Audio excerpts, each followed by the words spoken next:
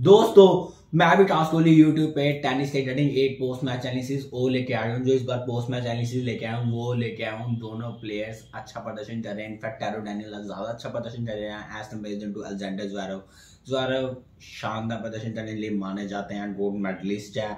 बढ़िया प्रदर्शन करते थे। ग्रैंड स्लैम अभी तक नहीं जीत पाए बट फिनाले तक तो गए थे एक बार। और वो चाह रहे थे कि भाई ये जीत जाए जल्दी से जल्दी। ग्रैंड स्लैम भी तो सारी चीज़ें पूरी हो जाएगी उनकी।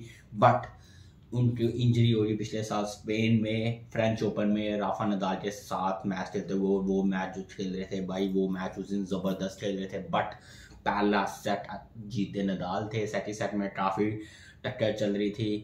इनफैक्ट छः छः बराबर हुआ था तो लग रहा था कि भाई ये द्वारा भी बड़े प्रदर्शन कर रहे हैं तो क्या पता उलट फेर कर दें। तभी उन्हें इंजरी हो हुई और बहुत खतरनाक इंजरी हुई। उसके बाद जब वो टूर्नामेंट में वापस आए एग्जीबिशन मैच चला उसमें जोकोविक को हराया, लग रहा था कि अच्छा प्रदर्शन करेंगे बट ऐसा नहीं हुआ। क्यों क्योंकि जो बाकी मैचेस जब खेलने लग पड़े तो वो हारने लग पड़े दोस्तों। इसी के रिगार्डिंग बात करने जा रहा हूँ दोस्तों।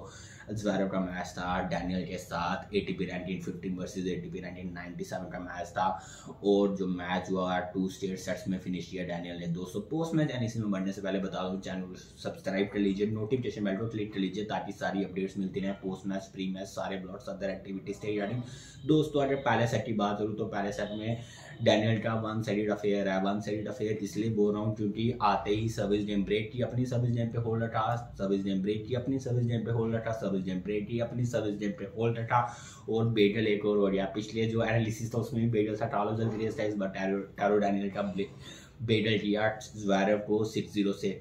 उसके बाद सेकंड सेट की बात करें तो सेकंड सेट में बढ़िया प्रदर्शन बताया दोनों प्लेयर्स ने इस बार। ज्वारव का इस बार थोड़ा अच्छा प्रदर्शन अपनी सर्विस जेम पे थोड़ा था वन वन किया, दोनों प्लेयर्स ने फिर टू टू किया। उसके बाद जैरव की सर्विस गेम ब्रेक हुई। डैनियल ने की अपनी सर्विस गेम पे खोल रखा फोर टू से आगे। जैरव को सर्विस गेम ब्रेक बैक करनी थी ताकि ये सेट में बने रहें। बट ऐसा नहीं हो पाया। डैनियल अपनी सर्विस गेम पे खोल रख रहे थे। जैरव अपनी सर्विस गेम पे खोल रखे थे। एक तो ऑलरेडी लीड थी वो छः चार से जीते ये वाला सेट और match within two straight sets में फिनिश किया, वो चाहेंगे कि बढ़िया प्रदर्शन करते, ऐसे ही नेक्स्ट मैच भी जीता जाए। पिछली बार भी वो पहले दो मैचेस जीते थे, और ये टॉप ट्वेंटी में उनकी सेकंड विन है इससे पहले मैटू बैटिंग से जीते थे इंडियन वेल्स मास्टर्स में बट थर्ड राउंड में बाहर हो गए थे, इस बार चाहेंगे थर्ड राउंड में जाएँ।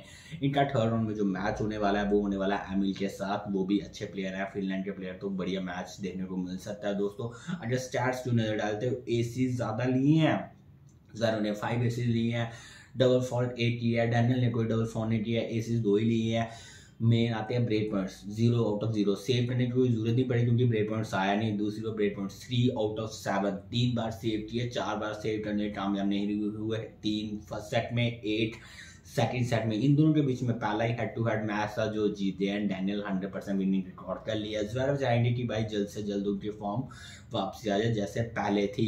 दोस्तों, अभी के लिए चलता हूँ। आपको अगर वीडियो अच्छी लगी, वीडियो को लाइक कीजिए कमेंट कीजिए। बहुत बहुत धन्यवाद।